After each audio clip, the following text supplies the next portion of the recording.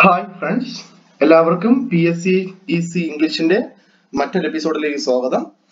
നമ്മൾ ഇന്ന് പരിചയപ്പെടുന്നത് കഴിഞ്ഞ ക്ലാസ് പോലെ തന്നെയാണ്. ഇച്ചിരി വ്യത്യാസം എന്ന് പറയുന്നത് ഇന്ന് ടോപ്പിക് ബേസ് ആണ്. ഓക്കെ അതായത് ടോപ്പിക് ബേസ് എന്ന് പറയുമ്പോൾ തന്നെ ഓർക്കുക ആ ടോപ്പിക്കിൽ ഉള്ളത് അതായത് പ്രീവിയസ് ക്വസ്റ്റ്യൻ തന്നെയാണ്. ആ ക്വസ്റ്റ്യനിൽ ഇച്ചിരി നമുക്ക് പരീക്ഷ ഹാളിൽ ഇച്ചിരി ഡിഫിക്കൽട്ട് ആയിട്ട് തോന്നിയ ചോദ്യങ്ങളെയാണ് നമ്മൾ പരിചയപ്പെടുന്നത്. ഇച്ചിരി ഡിഫിക്കൽട്ട് ആയിട്ട് തോന്നിയ ചോദ്യങ്ങൾ മാത്രമാണ് നമ്മൾ എന്ത് ചെയ്യുന്നത് പരിചയപ്പെടുക. ഓക്കെ അപ്പോൾ ഇന്ന് പരിചയപ്പെടുന്ന മേഖല ആർട്ടിക്കിൾ ആണ്.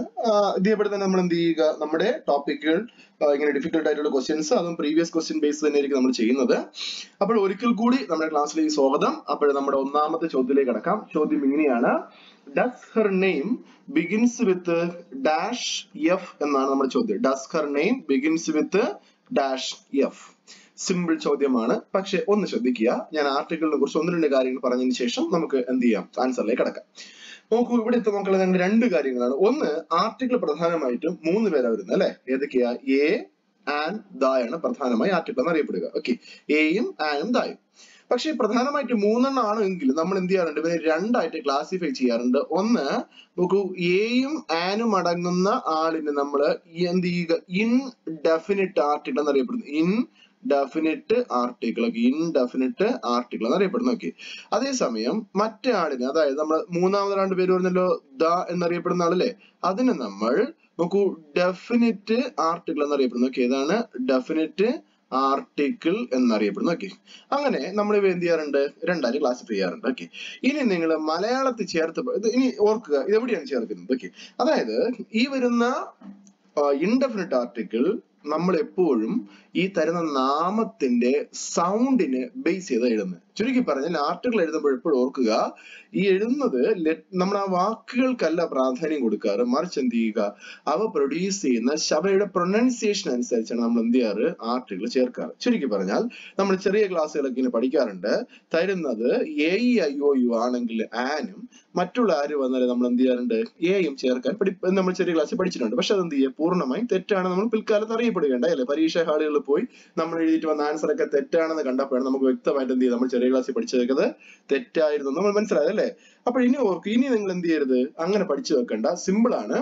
തരുന്നത് ഒരു വവ്വൽ സൗണ്ട് ഉള്ള നാമമാണെങ്കിൽ എന്ത് സൗണ്ട് വന്നാലാ? വവ്വൽ സൗണ്ട് ഒക്കെ. അപ്പോൾ ഞാൻ പറഞ്ഞല്ലോ നേരത്തെ പറഞ്ഞല്ലോ ആർക്കാ പ്രാധാന്യം? സൗണ്ട്സിനാ അവിടെ അല്ലെ? വവ്വൽ സൗണ്ട് ആണ് വരുന്നതെങ്കിൽ നിങ്ങൾ എന്ത് ചേർക്കുക നിങ്ങൾ അവിടെ ആൻ ചേർക്കുക ഓക്കെ എന്ത് സൗണ്ട് വന്നാൽ? വവ്വൽ സൗണ്ട് വന്നാൽ ആൻ ചേർക്കുക.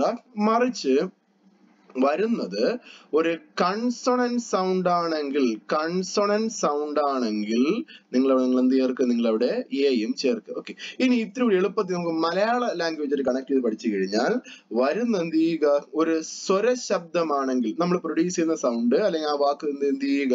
ഒരു സ്വരമാണ് വരുന്നതെങ്കിൽ എന്താണ് വരുന്നതെങ്കിൽ?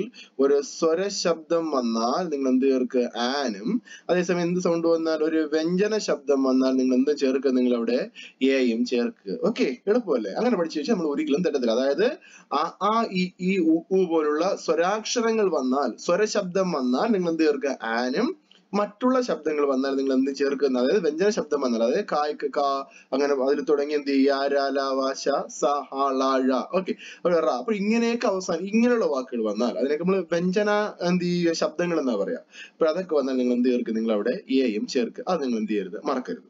ഇനി ഒന്ന് രണ്ട് കാര്യം കൂടി ഓർക്കുക. അതായത് ഇങ്ങനെയൊക്കെയാണ് അപ്പോൾ നമുക്ക് പറയാലോ എ കാർ ക് അല്ലെ? A car a boy a dog etcetera അല്ലെ? അതെവിടെ അപ്പുറത്ത് പോകുമ്പോൾ എന്ത് ചെയ്യുക? ആൻ എലിഫന്റ് കണ്ടോ? A elephant aeroplane a aeroplane അല്ലെ? ആൻ എയ്റോപ്ലെയിൻ അല്ലെ? ആൻ ഓറഞ്ച് ആൻ ഇങ്കുപോട്ട് ഈ ഇങ്കുപോട്ട് ഓ ഓറഞ്ച് ഓക്കെ അവിടേക്ക് നമുക്ക് എന്ത് ചേർക്കാം? ആൻ ചേർക്കാം. പക്ഷേ ഇതിൽ നിന്ന് വ്യത്യസ്തമായി വരിക ചില വാക്കുകൾ എന്ത് ചെയ്യാറുണ്ട്? ഇങ്ങനെ അല്ലെ? നോക്കി ഇങ്ങനെ എഴുതരാം ഞാൻ. Words start with okay words start with അല്ലെ? Words start with vowel letters okay അവിടെ നിങ്ങൾ നോക്കുക. ചില വാക്കുകൾ എന്തിൽ സ്റ്റാർട്ട് ചെയ്യാറുണ്ട്? വവ്വൽ ലെറ്റേഴ്സിൽ സ്റ്റാർട്ട് ചെയ്യാറുണ്ട്. Words start with vowel letters ഈ വാക്ക് ഒന്ന് ഓർത്തിരിക്കണേ. Start with vowel letters but പക്ഷേ but they having but they having consonant sounds നോക്കണേ. ഇവിടെ നിങ്ങൾ നോക്കുക. നോക്ക് ചില വാക്കുകൾ എന്തിലാ സ്റ്റാർട്ട് ചെയ്തത്? ഓക്കെ ഞാൻ ഇവിടെ എന്താ പറഞ്ഞത്? ചില വാക്കുകൾ എന്തിൽ സ്റ്റാർട്ട് ചെയ്തു? വവ്വ ലെറ്റേഴ്സ് സ്റ്റാർട്ട് ചെയ്താലും പക്ഷെ അവ പ്രൊഡ്യൂസ് ചെയ്യുന്ന സൗണ്ട് ആണെങ്കിലോ കൺസോണന്റ് സൗണ്ട്സ് ഇവിടെ നമുക്ക് എന്ത് ഉപയോഗിക്കാം? വരുന്ന സൗണ്ടിനല്ലേ പ്രാധാന്യം? അപ്പോൾ നമുക്ക് ഇവിടെ എന്ത് ഉപയോഗിക്കാം? നമുക്കിവിടെ എ ഉപയോഗിക്കാം. ഓക്കെ അതിനുള്ള ഏറ്റവും മികച്ച ഉദാഹരണമാണ് നമ്മളിവിടെ പറയാറ്. എന്ത് ഏത് വാക്കാ പറയാറ്? നോക്ക് നമ്മുടെ നിങ്ങൾ ഇപ്പോൾ സപ്പോസ് എക്സാമ്പിൾ പരീക്ഷയ്ക്ക് സ്ഥിരം ചോദിക്കുന്ന വാക്കാണ് ഏത്? യൂറോപ്യൻ. കണ്ടോ? യൂറോപ്യൻ. ഓക്കെ. ഇവിടെ നമ്മൾ നോക്കുമ്പോഴേ ഇ എന്ന് പറയുന്നത് എന്തിന് എക്സാമ്പിളാ വവ്വ ലെറ്റർ ആണല്ലോ ഇ എന്ന് പറയുന്നത്. പക്ഷെ വവ പ്രൊഡ്യൂസ് ചെയ്യുന്ന ശബ്ദം നിങ്ങൾ ശ്രദ്ധിച്ചിട്ടുണ്ടോ? നമ്മൾ എങ്ങനെ എഴുതാറ്? യൂറോപ്യൻ എന്ന്. ഇങ്ങനെയല്ലേ എഴുതാറ്? ഈ ആയിൽ ഊട ലെറ്റർ എഴുതാറ്? അല്ലെ? ഈ ആ എന്ന് പറയുന്ന വാക്ക് എന്തിന് എക്സാമ്പിൾ ആ? സൗണ്ട് എന്തിന് എക്സാമ്പിളാ സ്വരമാണോ വ്യഞ്ജനമാണോ? സിമ്പിൾ ആണ്. എന്താണ്? വ്യഞ്ജന ശബ്ദമാണ്. സോ നമുക്ക് ഇവിടെ എന്ത് ഉപയോഗിക്കാം? എ യൂറോപ്യൻ നോക്ക് അതേപടി വരുന്ന മറ്റ് കുറെ വാക്കുണ്ട്. യൂറോപ്യൻ യു ഓക്കെ ഇതുകൂടി ഞാൻ just എഴുതിയേക്കാം. E U E W E U അല്ലെ? ഇതിനർത്ഥം ഫീമെയിൽ ഗോട്ട അല്ലെ ഫീമെയിൽ ഷീപ്പ് എന്നാ പറയുന്നത്. ഫീമെയിൽ ഷീപ്പ് ഓക്കെ പെണ്ണാട് എന്ന് പറയാറുണ്ട് അല്ലെ? യു എന്ന് പറയാറുണ്ട്. ഓക്കെ ഇത് നമ്മൾ പ്രൊനൗൺസ് ചെയ്യുന്നത് ഇ യു എന്നാ പ്രൊനൗൺസ് ചെയ്യുന്നത്. ഓക്കെ ഇതും യായിലാ വരുന്നത് അല്ലെ? അപ്പോൾ നമുക്ക് ഇവിടെ എന്ത് ചെയ്യാം എ യു എന്നാ പറയുന്നത്. ഓക്കെ എ യു എന്നാ പറയുന്നത്. ഓക്കെ ആണെന്ന് പറയാറില്ല. അതെവിടെ വരുന്ന വാക്കാണ്? നോക്ക്. വൺ ഓക്കെ വൺ പിന്നെ വരുന്ന അതേപോലെ എന്ത് യൂണിവേഴ്സിറ്റി യുണീക്ക് യുനാനിമസ് ഉറ്റോപ്പിയ അപ്പോൾ ഇങ്ങനെയൊക്കെ വരുന്ന വാക്കുകളൊക്കെ തന്നെ നമുക്ക് യു നോക്ക് unique U N I Q U E അല്ലെ? യുണീക്ക് അല്ലെ? അപ്പോൾ നോക്ക് യു അല്ലെ? യു എന്ന് എഴുതിയിട്ട് നമ്മൾ എങ്ങനെയാ? അവിടെയും നമുക്ക് യു എന്ന് എഴുതിയിട്ട് നമ്മൾ പ്രൊനൗൺസ് ചെയ്യുന്നത് എന്താ? യായിട്ട് പോലെ അല്ല? യുണീക്ക് അതേപോലെ നോക്ക് ഈ ഒൺ എന്ന വാക്ക് അല്ലെ? ഈ ഒൺ എന്ന വാക്ക് നമ്മൾ എഴുതുമ്പോൾ ഒ എൻ ഇ എന്ന് എഴുതിയിട്ട് നമ്മൾ എങ്ങനെയാ പ്രൊനൗൺസ് ചെയ്യുക അതൊക്കെ എന്ത് വൺ എന്നാ പ്രൊനൗൺസ് ചെയ്യുക. ഓക്കെ ഇത് കഴിഞ്ഞ പരീക്ഷയിൽ ചോദിച്ചത് സിമ്പിൾ ആയിരുന്നു. ചോദ്യം ഇങ്ങനെയായിരുന്നു. I saw dash one eyed man in the street എന്നാ ചോദ്യം. I saw dash one eyed man in the street അവിടെ നമ്മൾ എല്ലാ ആൾക്കാരും എന്താ എഴുതുക? ഓ അല്ലെ? ഓ എൻ ഇ ഒന്നായത് കാരണം അല്ലെ? നമ്മൾ ഒന്നെന്ന് മനസ്സിൽ കരുതി നമ്മൾ അവിടെ എന്ത് എഴുതും? ആൻ എന്ന് എഴുതും. പക്ഷെ തെറ്റാണ്. അവിടെ നമ്മൾ എങ്ങനെ പ്രൊനൗൺസ് ചെയ്യുന്നത് വൺ ഐഡ് വാ വാ one eyed one legged one rupee അപ്പൊ ഇങ്ങനെയൊക്കെ ചോദ്യങ്ങൾ വരാറുണ്ട്. അവിടേക്ക് നിങ്ങൾ എന്ത് എഴുതുക? നിങ്ങൾ അവിടെ എയും എഴുതുക. ഇതേ കണ്ടീഷൻ നമ്മൾ ഇവിടെ എഴുതിയ ഇത് നമ്മൾ ഒന്നാമത്തെ കണ്ടീഷൻ ഞാൻ ഇവിടെ നോട്ട് ചെയ്യാം. ഒന്നാമത്തെ കണ്ടീഷൻ ഒക്കെ ഇതേ കണ്ടീഷൻ ജസ്റ്റ് ഓപ്പോസിറ്റ് ഇവിടെയും കാണണമല്ലോ അല്ലെ? അപ്പോൾ അവിടെ വരുമ്പോൾ നിങ്ങൾ ശ്രദ്ധിക്കുക. ഇവിടെ വരുന്ന കണ്ടീഷൻ എന്തായിരിക്കും? അവിടെ വവൽ ലെറ്റേഴ്സിൽ സ്റ്റാർട്ട് ചെയ്തെങ്കിൽ ഇവിടെ നിങ്ങൾ എന്ത് ചിന്തിക്കുക? കൺസോണൽ ലെറ്റേഴ്സിൽ സ്റ്റാർട്ട് ചെയ്യും. ഓക്കെ അവിടെ വവോ ലെറ്റേഴ്സ് സ്റ്റാർട്ട് ചെയ്തെങ്കിൽ ഇവിടെ എന്ത് സ്റ്റാർട്ട് ചെയ്യണം ഞാൻ എഴുതാം. രണ്ടാമത്തെ കണ്ടീഷൻ ഒക്കെ ചില വാക്കുകൾ എന്തിൽ സ്റ്റാർട്ട് ചെയ്യും? കൺസോണൻ ലെറ്റേഴ്സിൽ കൺസോണൻ ലെറ്റേഴ്സിൽ സ്റ്റാർട്ട് ചെയ്യും. കൺസോണൻ ലെറ്റേഴ്സിൽ എന്ത് ചെയ്യാറുണ്ട്? സ്റ്റാർട്ട് ചെയ്യാറുണ്ട്. ഓക്കെ കൺസോണൻ ലെറ്റേഴ്സിൽ സ്റ്റാർട്ട് ചെയ്യും. പക്ഷെ അവൻ പ്രൊഡ്യൂസ് ചെയ്യുന്ന ശബ്ദം എന്തായിരിക്കും? അവന്റെ സൗണ്ട് എന്തായിരിക്കും? വവ്വൽ സൗണ്ട് ആയിരിക്കും. ഓക്കെ അവന്റെ സൗണ്ട് എന്തായിരിക്കും? വവ്വൽ സൗണ്ട് ആയിരിക്കും. ഓക്കെ ഇവിടെ ഓർക്കുക. അവൻ എന്തിൽ സ്റ്റാർട്ട് ചെയ്യും? കൺസോണൽ ലെറ്റേഴ്സിൽ സ്റ്റാർട്ട് ചെയ്യല്ലേ അപ്പൊ പ്രൊഡ്യൂസ് ചെയ്യുന്ന ശബ്ദമാണെങ്കിൽ അല്ലെ അവന്റെ അവനിൽ നിന്ന് വരുന്ന സൗണ്ട് ആണെങ്കിലോ വരുന്ന സൗണ്ട് ആണെങ്കിൽ കൺസോണൻസ് എന്ത് ലെറ്റേഴ്സിൽ സ്റ്റാർട്ട് ചെയ്യുകയും വവൽ സൗണ്ട് നമുക്ക് പ്രൊഡ്യൂ കിട്ടുകയും ചെയ്തു കഴിഞ്ഞാൽ നിങ്ങൾക്ക് അവിടെ എന്ത് ചേർക്കാം? നിങ്ങൾക്ക് അവിടെ ആൻ ചേർക്കാം. അതിന് ഏറ്റവും മികച്ച ഉദാഹരണമാണ് നമ്മൾ എഴുതുന്ന എച്ച് ഒ യു ആർ അല്ലെ ഇവിടെ നോക്ക് honest H O N E S T honest അല്ലെ? അതെവിടെ വരുന്ന മറ്റു വാക്കാണല്ലോ?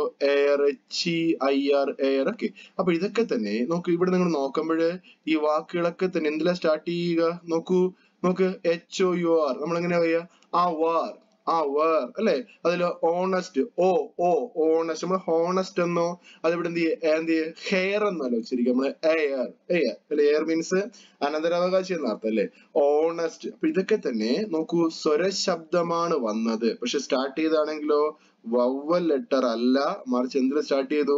കൺസോണൻ ലെറ്റർ സ്റ്റാർട്ട് ചെയ്തു. പക്ഷെ നമുക്ക് കിട്ടിയ സൗണ്ട് ആണെങ്കിലോ വവ്വൽ സൗണ്ട് ആണ്. സോ നമ്മൾ എന്ത് ഉപയോഗിച്ചു? നമ്മളിവിടെ ആൻ ഉപയോഗിച്ചു. ഇനി നമ്മുടെ ചോദ്യത്തിലേക്ക് കടക്കാം. ഇവിടെ നമ്മൾ ചോദ്യം നോക്കുന്ന സമയത്ത് ഇവിടെ നിങ്ങൾ നോക്കൂ ഇവിടെ എഫ് എന്ന് പറയുന്ന ലെറ്റർ കിടക്കുന്നത് അല്ലെ?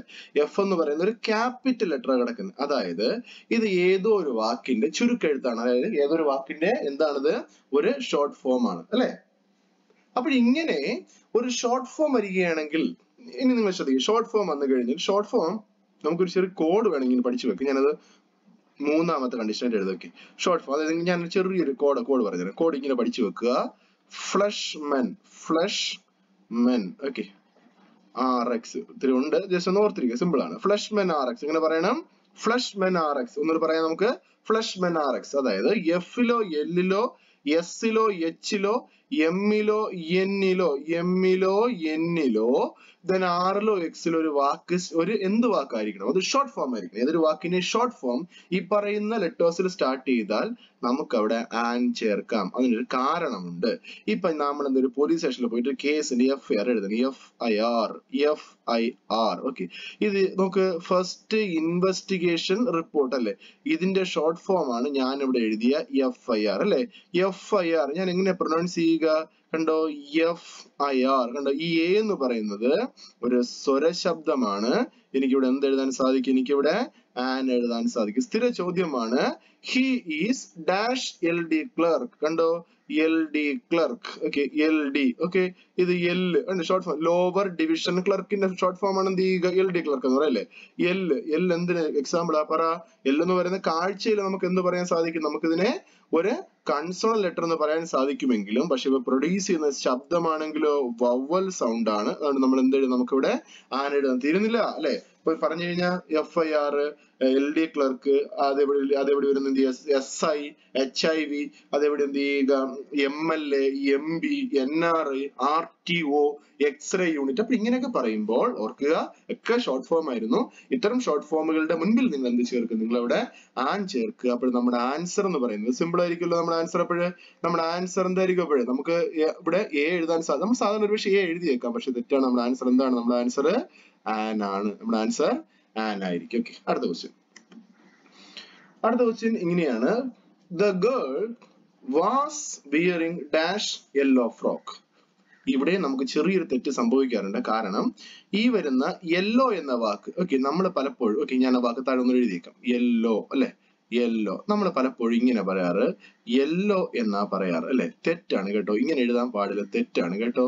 ഇങ്ങനെ എഴുതിയിട്ട് നമുക്ക് എന്ത് ചേർക്കാമായിരുന്നു? അവിടെ നമുക്ക് ആൻ ചേർക്കാം. പക്ഷെ നമ്മൾ കറക്റ്റ് എഴുതുക ഇങ്ങനെ എഴുതല്ലേ യെല്ലോ ഇതാണ് നമ്മൾ കറക്റ്റ് എഴുതാറ് ഓക്കെ അപ്പോഴ് അങ്ങനെയാണ് ഈ യാ എന്ന് പറയുന്നത് എന്തിന്റെ ഭാഗമല്ല? സ്വരശബ്ദമല്ല ചുരുക്കി പറഞ്ഞാൽ വവ്വൽ സൗണ്ട് അല്ല കൺസണൻ സൗണ്ട് ആണ് അല്ലെ? അതുകൊണ്ട് നമുക്ക് ഇവിടെ എന്ത് എഴുതാനേ പറ്റും? നമുക്ക് ഇവിടെ എ എഴുതാനേ പറ്റുള്ളൂ. ഇത് മാത്രമല്ല കേട്ടോ. യെല്ലോ മാത്രമല്ല നമ്മൾ പരസ്പരം ഉപയോഗിക്കുന്ന വാക്കാണ് yard Y A R D. അത് വരുന്ന മറ്റേ വാക്കാണ്. നമുക്ക് year Y E A R year പിന്നെ ഈ വരുന്ന എന്ത് ചെയ്യുക? എല്ലോ ഇത് മൂന്നും ഒന്ന് പഠിച്ചു വെച്ചോളൂ. ഏതൊക്കെയാണ്? Yard year yellow. ഈ ഇയർ എന്ന വാക്ക് സ്ഥിര ചോദ്യമാണ്. ഇവയ്ക്കൊക്കെ ശേഷം നിങ്ങൾ ഇവയുടെ മുൻപിൽ നിങ്ങൾ എന്ത് ആർട്ടിക്കിൾ ഉപയോഗിക്കുക നിങ്ങൾ അവിടെ എ എന്ന ആർട്ടിക്കിൾ ഉപയോഗിക്കുക. അപ്പോൾ നമ്മുടെ ആൻസർ എന്ന് പറയുന്നത് എന്ത് തന്നെ ആയിരിക്കും എ യെല്ലോ ഫ്രോക്ക്. നമ്മുടെ ആൻസർ എന്തായിരിക്കും എ യെല്ലോ ഫ്രോക്ക് ആയിരിക്കും ആൻസർ ഓക്കെ അടുത്ത ചോദ്യം. Dash mother would like to see you ഇതാണ് നമ്മുടെ ചോദ്യം. സിമ്പിൾ ആണ് കേട്ടോ. അതായത് നമ്മൾ ഈ മദർ എന്നൊക്കെ കാണുമ്പോഴേ നമ്മൾ ദ എന്ന ആൻസർ എഴുതിയേക്കാം. നമ്മൾ എന്ത് എഴുതും ദ എന്ന ആൻസർ എഴുതും. പക്ഷെ ദ എന്ന ആൻസർ എന്ത് ചെയ്യും? അവിടെ തെറ്റാണ്. എന്തുകൊണ്ട് തെറ്റി എന്ന് ചോദിച്ചു കഴിഞ്ഞാൽ ഒന്ന് നോക്കിക്കോണേ. അതായത് നമ്മളിപ്പോ ഒരു പക്ഷെ എന്ത് ചെയ്യുക? അതൊരു മദർ ആയിക്കോട്ടെ അല്ലെ? എന്തായിക്കോട്ടെ? മദർ ആയിക്കോട്ടെ. ഓക്കെ മദർ ആയാലും അതെവിടെ ഒരു എന്ത് ചെയ്യുക? ഫാദർ ആയാലും മദർ ആയാലും ഫാദർ ആയാലും ഇനിയിപ്പോ എന്ത് ചെയ്യുക? ചിലപ്പോ സിസ്റ്റർ ആയിക്കോട്ടെ. മദർ ഫാദർ സിസ്റ്റർ അല്ലെ? Mother father sister brother mother father sister brother പിന്നെ ഒരു എന്ത് ചെയ്യുക? ഗ്രാൻഡ് ഫാദർ അല്ലെ ഗ്രാൻഡ് ഫാദർ അത് എവിടെ എന്ത് ചെയ്യുക? Grandmother grandfather grandmother okay അങ്ങനെ വരുന്ന കസിൻ ഓക്കെ ഇതൊക്കെ തന്നെ ഒരു ചെറിയൊരു ബന്ധമുണ്ട് കേട്ടോ ഇവയ്ക്കിടയിൽ. ബന്ധം വേറൊന്നുമില്ല. ഇതൊക്കെ എന്തിനെ കാണിച്ചു? ഒരു ബ്ലഡ് റിലേഷനെ കാണിച്ചു. എന്തിനെ കാണിച്ചു? ഒരു ബ്ലഡ് റിലേഷൻ നിങ്ങൾ അങ്ങനെ പഠിച്ചില്ലെങ്കിലും കുഴപ്പമൊന്നുമില്ല. ഇങ്ങനെ കാണാൻ വാക്കുകൾ പഠിച്ചാലും മതി. Okay mother father sister brother grandfather grandmother ഇവയുടെ മുൻപിൽ ഒരു കാരണവശാലും നമ്മൾ എന്ത് ചേർക്കാറില്ല? ആർട്ടിക്കിൾ ചേർക്കാറില്ല.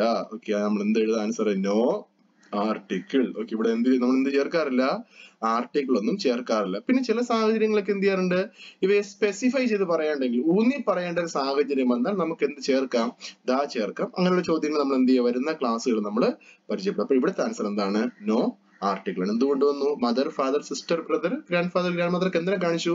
ഒരേ ബന്ധങ്ങളെ റിലേഷൻ അല്ലെ? എന്ത് റിലേഷൻ ബ്ലഡ് റിലേഷനെ കാണിച്ചു. So there is no article അവിടെ നമുക്ക് എന്ത് വേണ്ട?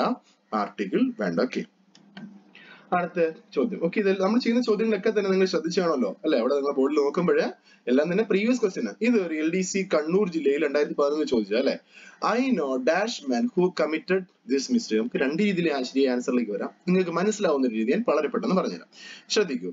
ഇവിടെ നിങ്ങൾ നോക്കുമ്പോഴേ ഈ മാൻ എന്ന വാക്ക് കിടക്കുക അല്ലെ? മാൻ എന്ന വാക്ക്. അപ്പൊ ഈ മാൻ എന്ന വാക്ക് വന്നാൽ നമ്മൾ എന്ത് ചെയ്യുക നോക്കുമ്പോ മു അല്ലെ? മായാണ് വന്നത്. അതൊരു എന്ത് ചെയ്യുക? വ്യഞ്ജന ശബ്ദമാണ് അല്ലെ? സ്വരശബ്ദമല്ല ഒരു വ്യഞ്ജന ശബ്ദമാണ്. അതുകൊണ്ട് നമുക്ക് എന്ത് ചേർക്കാം? എ ചേർക്കാമെന്ന് കരുതി എല്ലാവരും എന്ത് എഴുതാം? ഒരു പക്ഷേ എ എഴുതിയേക്കാം. പക്ഷെ തെറ്റാണ്. നിങ്ങൾ ആ മേൻ എന്ന് പറയുന്ന വാക്കിന് ശേഷം കിടക്കുന്ന വാക്ക് ശ്രദ്ധിച്ചായിരുന്നോ? ഹു എന്ന് പറയുന്ന വാക്ക് നിങ്ങൾ ശ്രദ്ധിച്ചായിരുന്നോ? അല്ലെ? ആ ഹു എന്ന വാക്ക് നിങ്ങൾ ഒന്ന് ശ്രദ്ധിക്കുക. ഈ ഹു എന്ന് പറയുന്ന വാക്ക് ആർക്ക് എക്സാമ്പിൾ ആ? ഒരു റിലേറ്റീവ് പ്രോനൗൺ എക്സാമ്പിൾ അതായത് സിമ്പിൾ ഇങ്ങനെ പറയാം. തരുന്നത് ഒരു അല്ലെങ്കിൽ തരുന്ന നൗണിന് ശേഷം അല്ലെങ്കിൽ നൗണിനെ തുടർന്ന് ഹൂ ഹൂ ഒപ്പം തന്നെ എന്ത് ചെയ്യുക? Whose who whom whose which okay who whom whose which that ഇതിനൊക്കെയാണ് നമ്മൾ എന്ത് പേരിൽ അറിയപ്പെടുക? ഈ നമ്മൾ നേരത്തെ ഒരു പേര് വിളിച്ചല്ലോ എന്ത് പേരിൽ വിളിച്ചത് നമ്മൾ അതിനെ റിലേറ്റീവ് പ്രോനൗണുകൾ എന്ത് വെല്ലുവിളിച്ചു? വിളിച്ചു റിലേറ്റീവ് പ്രോനൗണുകൾ ഓർക്കുക. അപ്പോഴേ ഈ നൗണിനെ തുടർന്നൊരു റിലേറ്റീവ് പ്രോനൗൺ വന്നാൽ തരുന്ന സെന്റൻസിലെ ഒരു നൗണിനെ തുടർന്ന് ഒരു റിലേറ്റീവ് പ്രോനൗൺ വന്നാൽ നിങ്ങൾ ആ വാ നൗണിന്റെ മുൻപിൽ നിങ്ങൾ എന്തേ ചേർക്കാവൂ? ദ എന്ന് പറയുന്ന ഡെഫിനിറ്റ് ആർട്ടിക്കിൾ മാത്രമേ ചേർക്കാവൂ. കേട്ടോ? ആർക്ക് മുൻപിൽ ആര് വന്നാൽ പറ? അതായത് ഒരു നൗണിനെ തുടർന്ന് എന്ത് വന്നാൽ ഒരു റിലേറ്റീവ് പ്രോനൗൺ അതറിയാത്തവർക്ക് എന്ത് ചെയ്യും? ബോർഡിലുണ്ട് ആരൊക്കെയാണ് റിലേറ്റീവ് പ്രോനൗൺ അല്ലെ? Who whom whose which that ഇതൊക്കെ എന്ത് പേര് അറിയപ്പെടുന്നു? റിലേറ്റീവ് പ്രോനൗൺ എന്ന് അറിയപ്പെടുന്നു. ഇങ്ങനെ വരുന്ന റിലേറ്റീവ് പ്രോനൗൺ ആരെ തുടർന്ന് നമ്മുടെ ഒരു നൗണിനെ തുടർന്ന് റിലേറ്റീവ് പ്രോനൗൺ വന്നാൽ ആ നൗണിന്റെ മുമ്പിൽ നമുക്ക് എന്ത് ചേർക്കും? നമുക്ക് അവിടെ ദ എന്ന് പറയുന്ന ഡെഫിനിറ്റ് ആർട്ടിക്കിൾ നമുക്ക് എന്ത് ചെയ്യാൻ പറ്റും? നമുക്ക് അവിടെ ചേർക്കാൻ സാധിക്കും. ഓക്കെ അപ്പോൾ ഇന്നത്തെ ക്ലാസ് ഞാൻ ഇവിടെ അവസാനിപ്പിക്കുന്നു. അപ്പോൾ നമ്മൾ ഇത്തരത്തിലുള്ള ചോദ്യങ്ങളുമായിട്ട് അടുത്ത ക്ലാസ്സിൽ നമ്മൾ കണ്ടുമുട്ടും. അപ്പോൾ എന്ത് ചെയ്യുക? ക്ലാസ് ഇഷ്ടമായെങ്കിൽ ലൈക്ക് ചെയ്യുക ഷെയർ ചെയ്യുക. ചാനൽ സബ്സ്ക്രൈബ് ചെയ്യാൻ നിങ്ങൾ എന്ത് ചെയ്യണം നിങ്ങൾ മറക്കണ്ട. അപ്പോൾ ഓക്കെ ബൈ